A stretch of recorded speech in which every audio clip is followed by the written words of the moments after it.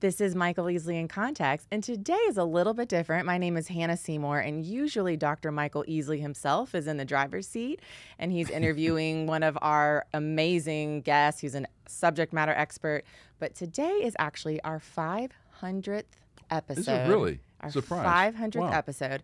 And so I thought it would be fun and appropriate to turn the tables and um, interview you really to talk about your faith journey, Mm. your testimony, your conversion experience, how you went from dead to alive in Christ. And so, um, so yeah, I just thought what a fun place to start and to commemorate 500 episodes. You started in context, of course, with Moody Radio back in the day, but in 2014, you guys launched as a podcast. What was it 14? Goodness. And yeah. you released, I think it was maybe 24 episodes that year. Okay. And then for many years, it was a every other week show. And then in 2019, we made it a weekly show. We started releasing bonus episodes, and before you knew it, we were releasing a lot of content. And so here we are. You know, I don't. here we are, 10 years later, 500 episodes. well, pretty and, amazing. and you tossed a stat the other day. We have hit a million downloads. Is we did, right? yeah. Last year we had a million That's downloads, crazy. and yeah, That's crazy. so it's been a fun In journey. God's kindness. I know. Yeah, yeah. So Sure. I know your background. I know some of your story. Um, but I was thinking about how powerful your testimony and and mom's too has been in my life as someone who grew up in a Christian home and I remember when I placed my faith in Christ, but it's certainly not a dramatic conversion story and I think um, a lot of young adults grow up wishing that they had that, you know.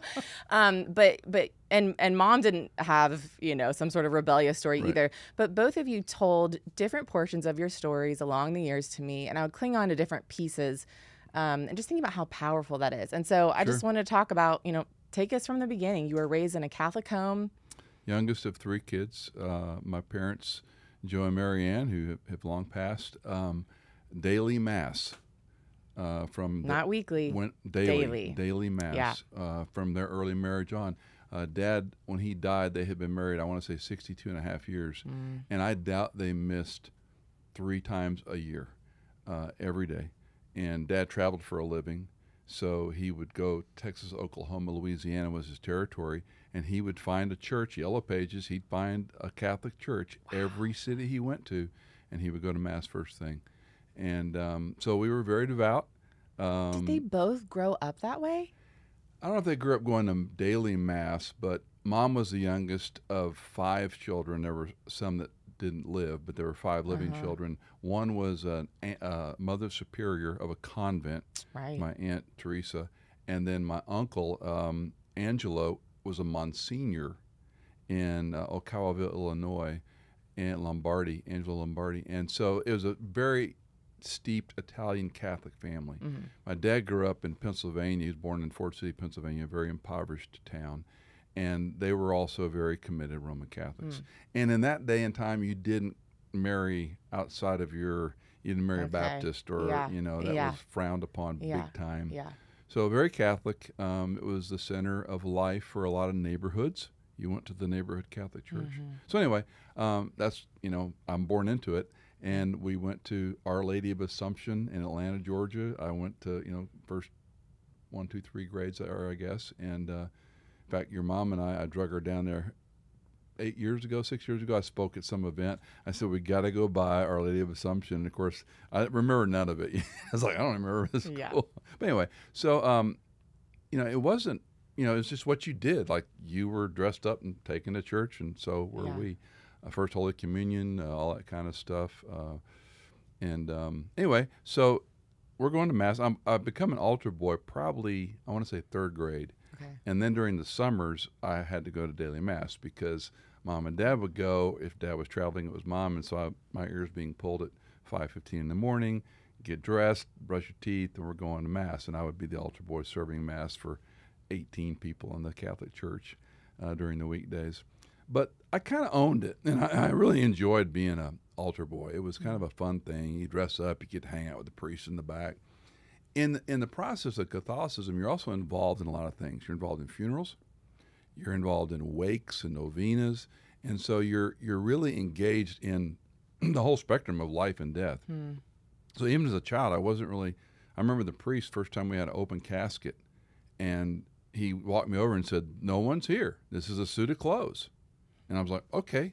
So it never bothered me, and I think later on, It's you know, funny because God I've heard used it. well, and I've heard you say that. Bingo. I mean, you know, And so, anyway, um, trying to think of you know what's pertinent here, but I dove in Catholicism pretty deeply, Yeah. and then by probably junior high, I get into drugs, and uh, you know it's just common. You're smoking cigarettes one day from your mother's purse, the next day somebody brings a joint, yeah, and so for several years I was heavily used marijuana. I would use recreational drugs on the weekend, LSD, mescaline, speed. I never put a needle in my arm. Bless God, I never was exposed to crack cocaine or I don't know if I'd be here today. yeah. And all my peers, save one or two, were really into drugs.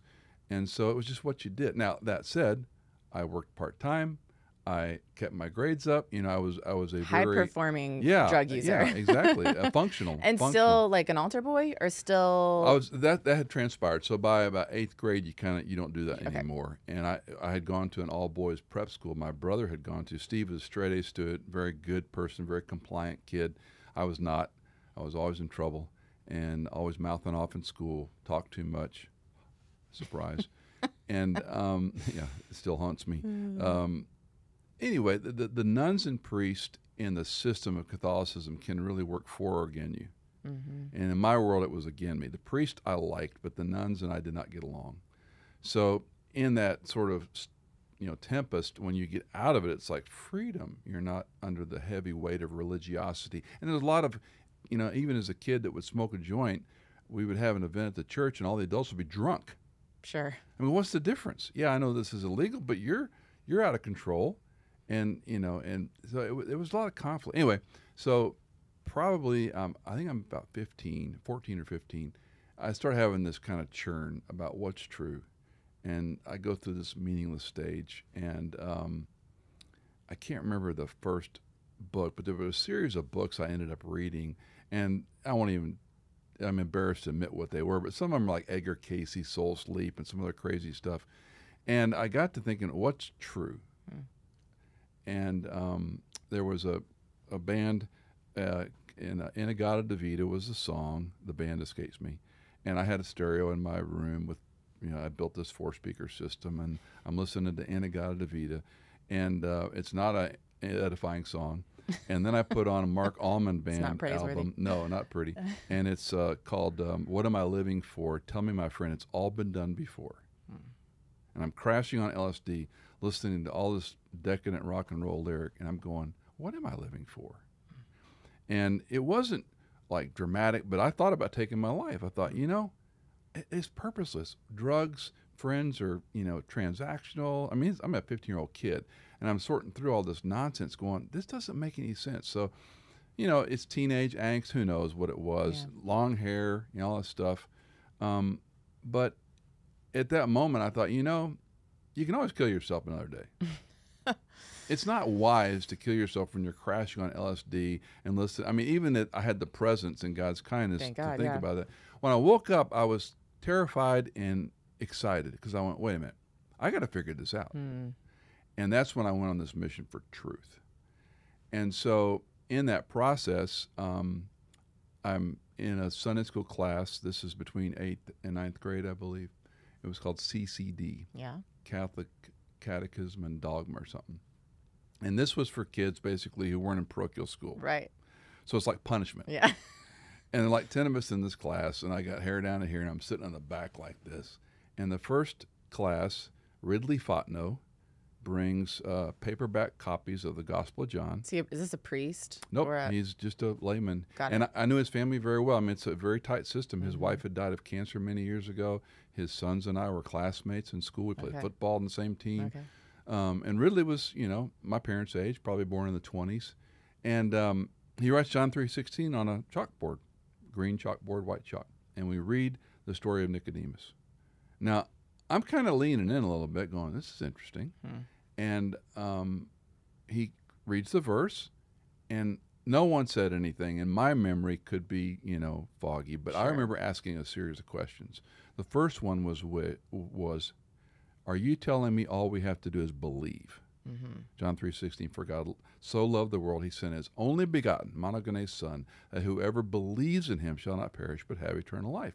And I, and I followed up like what about confession? Yeah. What about mass? What about keeping the sacraments? Yeah. What about extreme unction when you die? What about purgatory? And I'm asking again a number of questions and he kept pointing to the chalkboard, what does the verse say? And in my long hair presence, you know, search for truth, teenage angst, I went, I get it. Wow. And it was a switch. Hmm. I mean, the light went on, Hannah. And I used drugs three subsequent times. And each time I did, it was more difficult and dis- it wasn't fun anymore. Mm. and the third time I smoked, you know, whatever and got drunk, I went, this is stupid. Wow. Now, in hindsight, that was God taking his hand going, you're done with this. Yeah. This is not going to be a You're lifelong struggle for you. you. can't.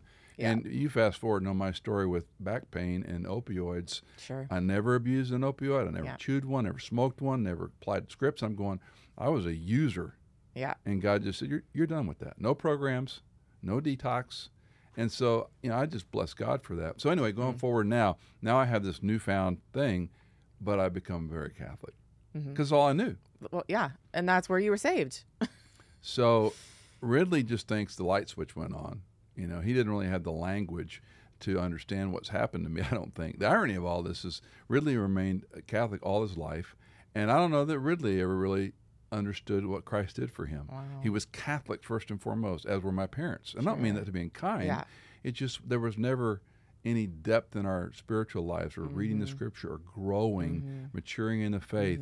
Um, it was just routine, Mm-hmm. religiosity, repetition. And now time out just for a second. Would you so would you say that moment green chalkboard, white chalk, that was like what you would say that was That that, was was, the benchmark. that I placed my faith in Yes. Christ. I didn't understand it all. I mean, Exactly. who does? Exactly. Who does? But I placed my faith in Christ and the Holy Spirit indwelt me No question. at that time. Thanks for the clarification. Two, two things happened. One, the drug and licentiousness went away. Yeah. And secondly, I was forgiven. Wow. And I knew it. Because in the Catholic system, you're never, you never really know. You go to confession, you, you burn through your prayers. You know, bless me, Father, for I have sinned. Yeah. It's been four weeks. Always a lie. Since my last confession, I've lied, I've stealed, I've been mean to my brother. Yeah. Are you truly sorry for your sins? Yes. Say two rosaries, blah, blah, blah, blah. You burn through them and you walk out forgiven for one minute. Until you screw up again. And yeah, until Yeah. you're mad or lust or whatever. And so it's this, you know, it's this guilt, shame, eh, what we call Arminianism, that you can't have a confidence in your salvation because Mm-hmm. you're a sinner and you always fall. So that's the big, anyway. So, um, yeah, so I'm, I'm on this search now for truth on steroids, Yeah. and I dive into the Catholic Church. Ridley gives me a book. Why? Elementary Patrology. What that means is patrology is the church fathers. Okay. So this is the an introduction elementary book on the church fathers. Got it. It ain't elementary. It's a textbook. now I'm reading it because I'm a pretty fair reader. I'm not brilliant, but I can navigate. And I'm reading this book, Shepherd of Hermas, all these different guys. They're all heretics. There's a few pages, paragraphs, and then some pope pronounces them heretics. Uh-huh. So I go to Ridley and I go, wait a minute. If these guys are the fathers of the Catholic Church and they're all heretics, I got another book for you. He gives me a book by Ludwig van Ott. It's called Catholic Dogma. I still have it today. Wow. I put contact paper on it. It was paperback, big old fat book. You look up penance. You look up this or mm-hmm. that, and I mm-hmm. have a. It's like a one volume encyclopedia. So you go and it says penance, and then it will have allusions to passages in the Bible, and then the popes who codified or counseled Sure. this thing and said, okay, so and so said this, so this is what we do. Yeah. Now, 99 out of 100 Catholics don't even know this stuff exists. Right. But I'm this weird guy looking for truth. Right. The more I read about the church fathers and about Catholic dogma, I'm going, wait a minute. Yeah. Now, I can't remember exactly when I started reading the Bible, but I know by ninth grade I'm reading it. Okay. And I'm, I'm hitting this fork in the road. Well, wait a minute. It says this, but the Catholic Church does that. Hmm. So, in the mix of all this, there were a lot of priests that I talked to because there are a lot of priests in our lives. And uh, I probably talked to eight or 10 priests over time. One in particular, I was in college by now, and I'm I'm double dipping by Mm-hmm. this time. I have a friend named Danny File who was uh, God's instrument to provoke me out of Catholicism, not to get me out of the church, but to get me clarified on what I believed. Mm. Because I was still Catholic in a lot of things, like you could lose your salvation, Sure. you need to do penance, you need to do the rosary. Yeah. Um, and and Danny would just kind of gently provoke me. Had a great sense of humor. We backpacked together, climbed, hiked together. We spent a lot of time under the hood of a car, uh, working on each other's cars. And he's a wonderful, wonderful man. And so Same that, age as you. Your peer? Or He is uh, two years older. okay. We met at uh, the backpacking store I worked at, Wilderness Hmm, Equipment. He that. he was a incredible. He is an incredibly gifted athlete and backpacker and climber. Anyway, so um, Danny and I ended up rooming in college, and uh, we're building a set of bunk beds in this apartment, and he puts a light on his bunk bed. I go, "What are you gonna light on your bunk bed for?" All right, reading my Bible at night. Who reads their Bible at night? okay, I'm, game. So he says, You want to read together? Sure. So I rummage through and get my New American Catholic Bible out of the box, and he's up, and we're reading two entirely different versions, of course. and we're arguing, can't see, we're arguing about what the Bible says on the bunk. You know, he's Uh-huh. up top. And we did it almost every night. Wow. And now I'm getting into men's Bible studies. There's a couple on the campus at Stephen F. Austin. And so I'm hit this fork in the road. And it, it happens probably in high school, but certainly my first year of college. Mm-hmm. I go to the priest at the Newman Center. I go to the Bible church pastor named John Aldridge. I go to I drive seven hours to Dickinson, Texas to go see Pat Meister. Father Meister was one of the most charismatic, fun, delightful Italian pastors at our home church in Houston, Texas. And uh, he was what they call a Paulist priest. They have orders of priests, Dominican, Marian, Paulist, and they're communicators. And they're sent to kind of revitalize churches. And Okay. he was phenomenal. Everybody loved Father Pat. A little portly Italian guy. My mother was a great Italian cook. So Father Pat would come over after Mass and we'd have a big dinner and lasagna and a little red wine and laugh and listen to Pat tell stories. He was, I mean, he also gave me a lot of pops and swats, you know, grabbed me by the hair during, you know, elementary, junior high years, drugged me to the barber shop once because my hair was too long. Um, but he was a good man. Hmm. So I thought, you know, if anybody could answer some questions. So I took a big Bible, a sheet of questions, drove seven hours to Dickinson, Texas. Spent the day with Father Pat. He showed me his new parish, and he was so happy because he, he's revitalizing. Hmm. Beautiful old campus, but dead church. Sure. We finally sit in the rectory. They bring us a little lunch, and we're talking. I have my Bible open, my questions. Very quickly into it, he puts his hand on my Bible, and he slides it away. He says, "Michael, you can't interpret that on your own. The church has to interpret." I go, "Okay, I'll bite, but what about these questions?" This went on for a couple hours, Mm. and finally, he he did that one more time, and I slid it back and I said, "Father Pat," I could probably call him Pat by then. I dropped the fathers. I said, "Pat, if this book was written and given by God to man, so that anyone who reads or hears can understand, mm. I don't see why the Catholic Church." Is the only one who can interpret it, mm-hmm. especially at this fork in the road. Mm-hmm. And he was kind, but I drove away crying, hmm. angry, worried about my parents, especially my brother and sister, not so much. But if I left the Catholic Church, this would be like a Jewish person becoming a, you know, Hare Krishna. Mm-hmm. I mean, it was, it, in, in my worldview, this wasn't just checking out churches. And I knew it would, would break their hearts. So, anyway, um, I drive back to Stephen F. Austin, and I never went back to Mass. And um, in God's lavish kindness, John Aldridge, the pastor at Grace Bible Church in Nacogdoches, Texas, would sit with me, and I would make appointments with him, and he would talk about security of believer. I'd never been baptized, obviously, as an infant. Uh, they had a baptism at Grace Bible Church, and I said, "Who gets baptized?" So I went and saw Pastor John. John, why do you get baptized? Opened his Bible, turned to Acts. We looked up every time the word baptism. We're in a tiny little office, overstuffed chairs, and he's walking. I go, "This makes sense." So that fork in the road is now differentiating Mm-hmm. the systems and the legalism and the uncertainty of salvation Mm-hmm. and the sacraments and all these views are starting to fade. And I'm going, this is it. Mm. So now, back to 15, I've trusted Christ. I know I'm forgiven, but it took a while to get where I'm in the Word and starting to be discipled. So were you baptized then?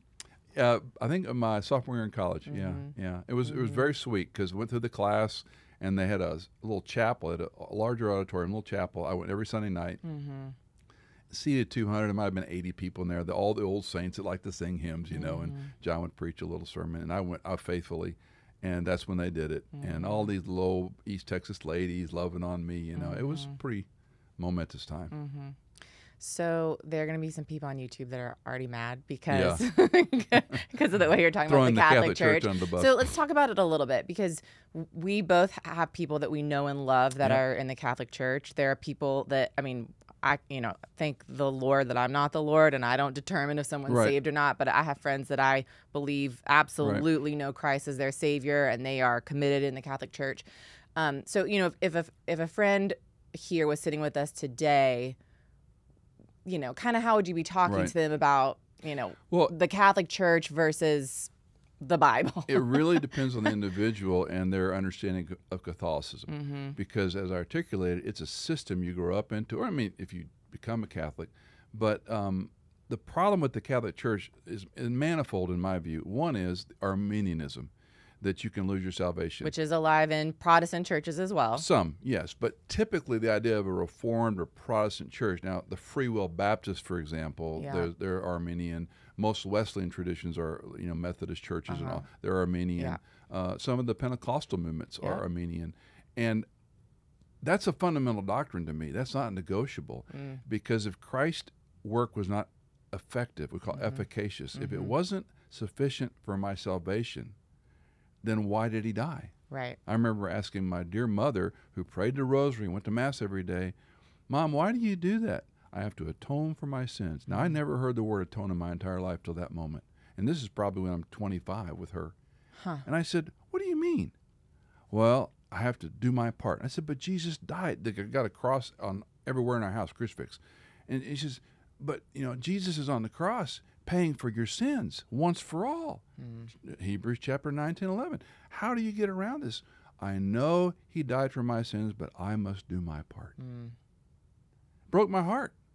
Now, is my, are, my mom and dad believers in Christ? I hope so. Mm-hmm. But from what they said and what they believed, I don't know. Mm-hmm. Um, I'm going to trust the Word, not this created system of Catholicism. That now, early on, there was one church. Right. And and so it's a lot different talking today. Uh, back to your point, when I talk to Catholics, they don't understand these arguments. They don't understand once saved, always saved. That's a cliche the Baptists say, Right. if they know anything. I go, no, that's a theology Hmm. that you can do nothing Mm-hmm. to be saved. Christ had to do it for you. Then you get into other doctrines like election, predestination, these things that are they're complex. Yeah. But I was that weird learner, and I wanted to read about what does this mean. And most Catholics don't have a clue. Yeah. Um, now, good Catholics who keep the sacraments, who go to Mass, who do all the rituals, they might have a little conversation. I've talked to some Catholics that hold to justification by faith alone, and they ignore Mm-hmm. Vatican II, they ignore the Council of Trent. Fine. I don't Right. understand that. Right. Why would I go to a church I don't believe 40% of it and say, oh, I like the rest of it? Mm-hmm. Um, so to me, it's it's a it's a doctrinal issue, but it's also what did Christ say? Mm-hmm. And when the church takes this book out of your hands and tells you this is what the Pope says, Mm. he is the vicar of Christ. What a chilling statement! I speak for God. I'm the vicar of Christ. I speak for God. Yeah. Now, he doesn't always speak ex cathedra, and when he does, how do you parse this? How do you Right. make this stuff up? Right. And so the more I studied Catholicism, remember I'm reading Catholic dogma and elementary patrology, and I kept my roots in Catholicism for many years. Um, but you're born into it, and it's what you know, and they're good people who love you, and mm-hmm. you might work for them or go to a Catholic college, and mm-hmm. you have a nun and a monsignor in your family. I understand this. To me, it wasn't a protestation to the Catholic Church. It was understanding what God's Word said. So mm. to me, it comes down to the authority and effic- uh, of the Bible versus the authority of the Catholic Church. That's the line. So as, as a practicing Catholic who loves your church and your parish, I'm not mad at you. I just think there's a lot of things you haven't looked at carefully about what God says vis-a-vis what the Catholic Church is telling you. And they can dismiss it and ignore it. I mean, birth control. A good Catholic never uses any form of birth control.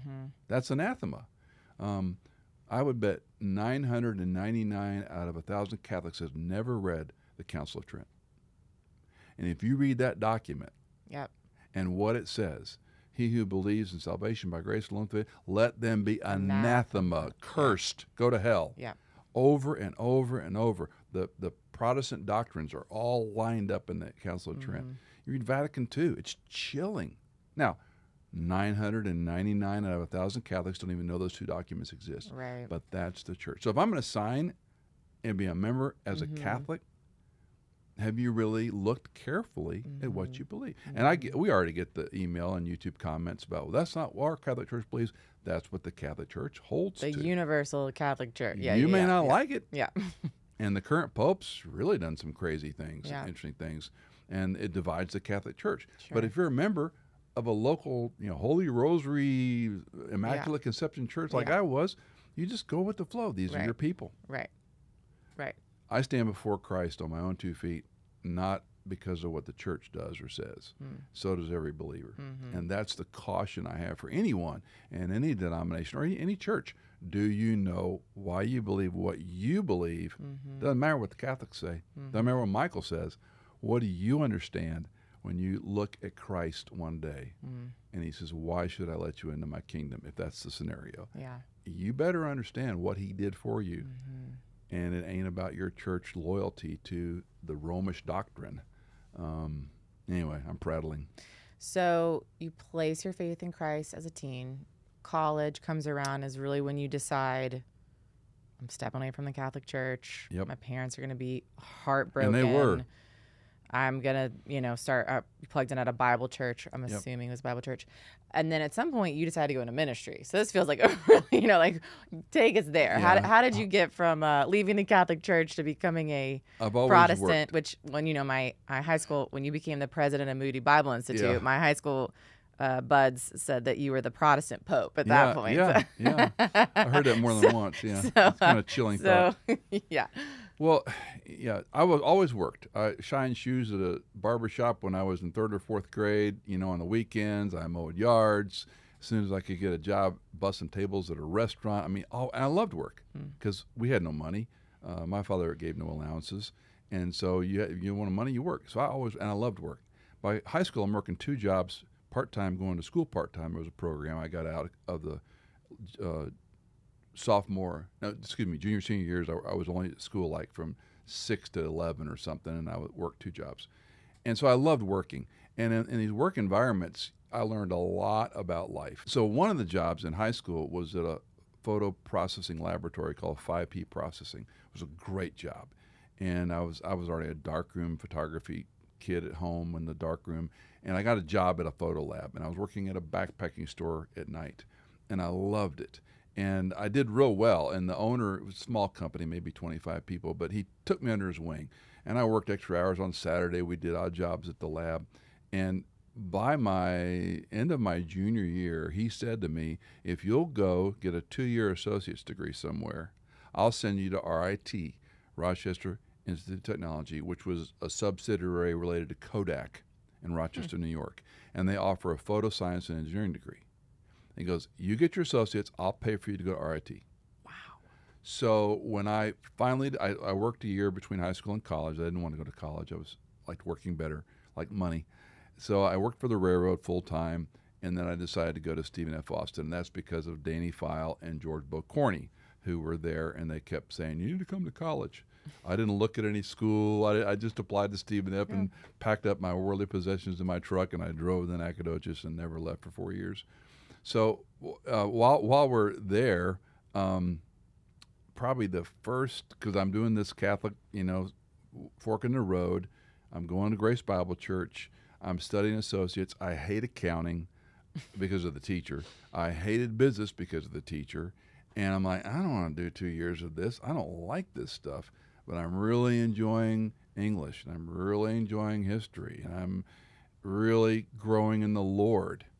And I'm really involved in the local church in Nacogdoches. And I'm like, and Nacogdoches Grace Bible Church, John Aldridge was a graduate of Dallas Seminary, three hour, three and a half hour drive. And he would bring Dallas professors in occasionally to teach. Now, I had gone to Bethel Independent Presbyterian Church in, in Houston, where Bob Tolston was also a Dallas grad. I didn't know all about this Dallas stuff. Sure. Bob Salstrom comes in, opens the Bible, teaches Genesis, uh, Genesis 12, the Abrahamic covenant.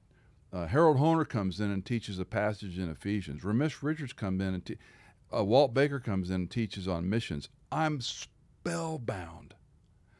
I'm a college kid going, how did they know all this about the Bible? As I say, I never heard the Bible taught, and when it was, it was like someone gave me a milkshake and I never tasted sugar. Mm-hmm. Uh, I gotta have another one, another one. And so for me, that exposure to exposition drove me into my walk with the Lord and to studying Scripture and knowing who He was and hanging with people that wanted to do that, um, which is kind of a mantra of my life. You have friends that are going in the Yep. same direction. Yep. And so by the second, probably the second semester of my freshman year, I was going to jettison the business associates and RIT idea. I still went back and worked for him over Christmas holidays. And I, I told him, I said, I don't think I'm going to do this. He was kind. But I come back to college, and by my first semester, my second year, I started thinking about ministry seriously. I thought about it a little bit, but I thought, man, and, and probably for the wrong reasons. Huh. I wanted to know scripture. That was it wasn't so much I want to be around churches and be with people. I wanted to know what God said. And that became sort of the driving motivation for me. So Dallas, um, exposure to it.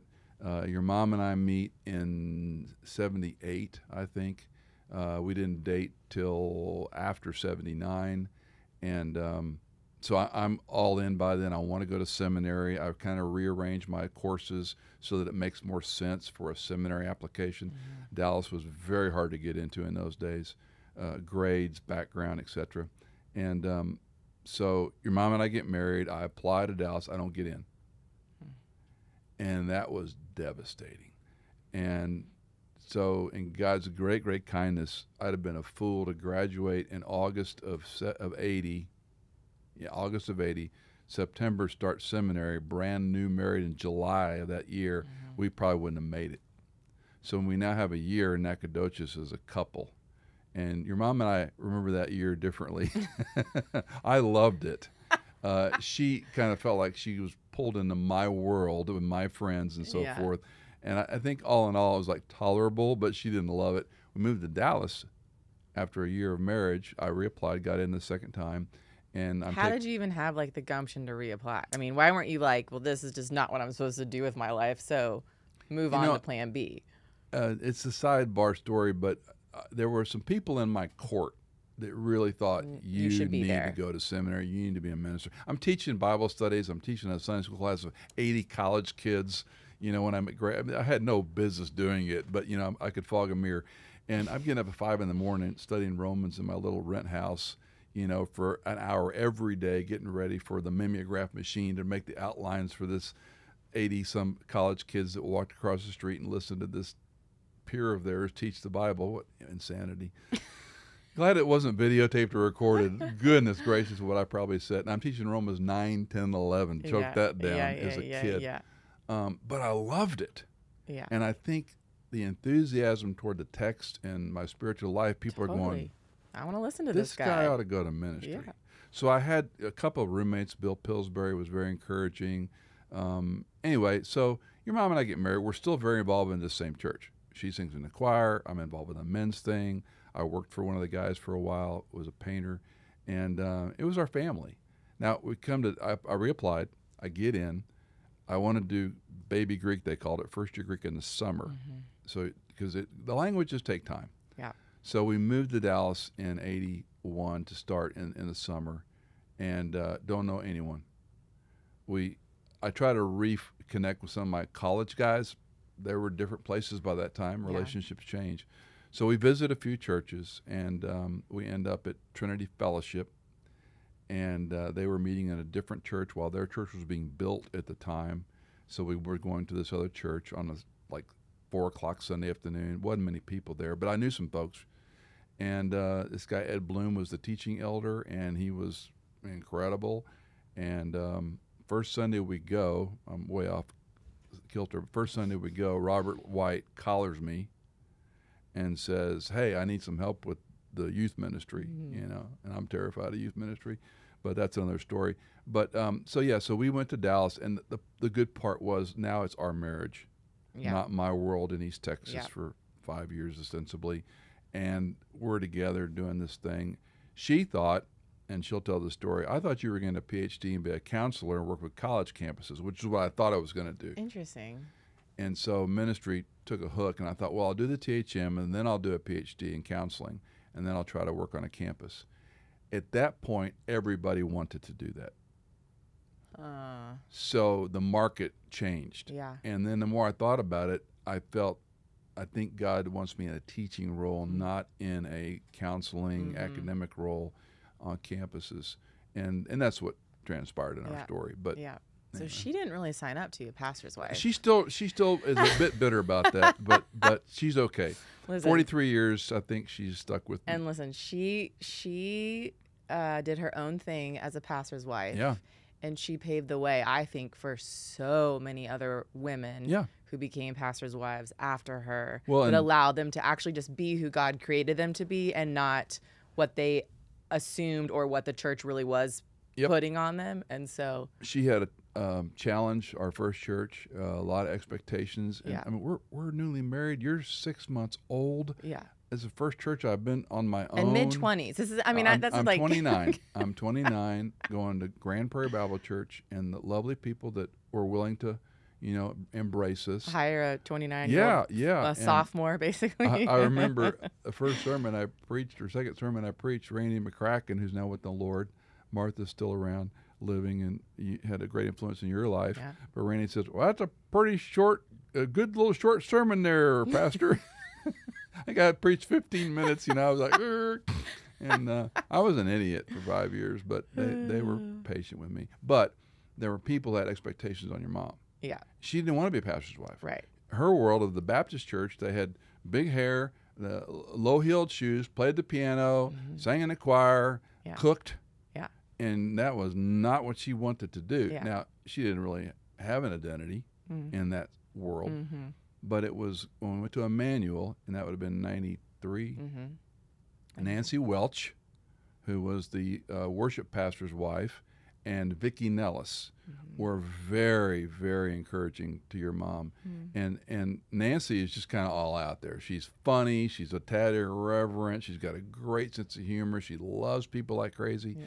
And your mom's seeing, and, and they had a lot more presence there because they've been there a long time. Yeah. Big ministry that Bob shepherded, huge ministry.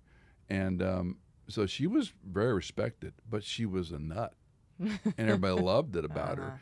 And your mom's going, I don't have to be this expectation of a pa-. And the other thing was Mm-hmm. it was a large staff. We had 12 pastors. So the pastors' wives weren't Lots as profiled. Yeah. as they are in a smaller church where you're the senior pastor's wife. Yeah. Yeah. So Emmanuel was a towering blessing for both of us. And Yeah. then Vicki and Ellis really poured into your mom, Mm. which is why she ended up in real estate. So Mm. if it's my Floyd and Howard Hendricks in my life, Yeah. it's you know Nancy Welch freeing her and Vicki and Ellis mentoring her that you can be a mom and a wife and a business person too. Mhm. And uh, so we owe great debts of gratitude to so many people at Emmanuel, and then much more stories there. Yeah. So to wrap, we don't have a ton of time left, but I want to kind of talk about the power of testimony.